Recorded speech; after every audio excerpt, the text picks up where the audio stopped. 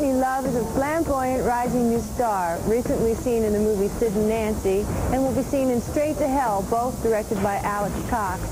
With the help of costumes from Paramount, she acts out her secret fantasies.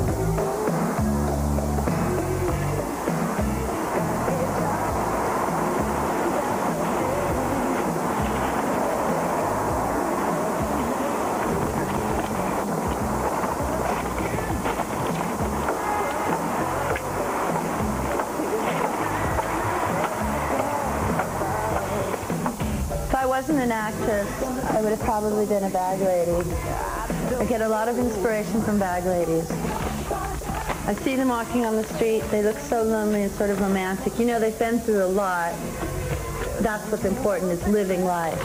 If I wasn't a bag lady, I'd probably been a poet, like a bad one in the 60s. Or else, or else I would have been, maybe, maybe I would have been a stripper.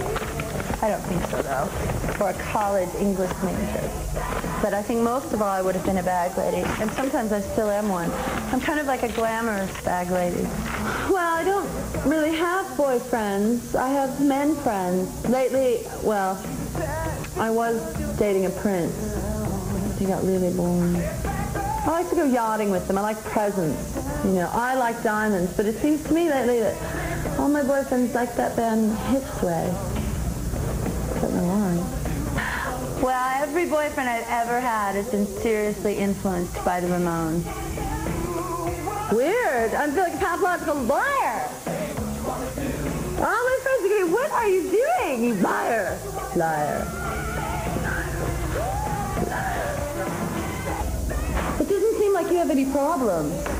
Actually, I do. Solving yours. Let's go. Oh, this isn't, it's a, well, I don't understand why I'm telling you my problem. Mhm, insecurity. You should be telling me yours. Uh-huh, I don't understand this. I'm not even paying you. Not enough money. I don't know. There's just this feeling I get sometimes, like Feelings? a certain chaos. Well, feelings, Feelings aren't of- problems. Okay, so as we analyze it up to this point, we've got insecurity about not enough money, which creates feelings of chaos, You got me all wrong. No, it's my sense. which is actually a, What is, what is a byproduct of short person behavior, which I can relate to because I've always been short. You're short, aren't you?